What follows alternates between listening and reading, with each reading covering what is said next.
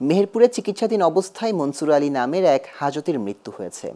বৃহস্পতিবার রাতে তার মৃত্যু হয়। মৃত মনসুর নরসিংদী জেলার রায়পুরা উপজেলার আজিজপুর গ্রামের মনু মিয়ার ছেলে। মেহেরপুর দুইশো পঞ্চাশ শয্যা বিশিষ্ট হাসপাতাল সূত্রে জানা যায়, মেহেরপুর জেলা কারা কর্তৃপক্ষ অসুস্থ অবস্থায় বৃহস্পতিবার দুপুরে তাকে হাসপাতালে নিয়ে আসে। রাতের হৃদরোগে আক্রান্ত হয়ে মৃত্যু হয় তার। মেহেরপুরের জেল সুপার এম রহমান জানান, মৃত মনসুর চারশো বিশ ধারার একটি মামলার হাজতে ছিল।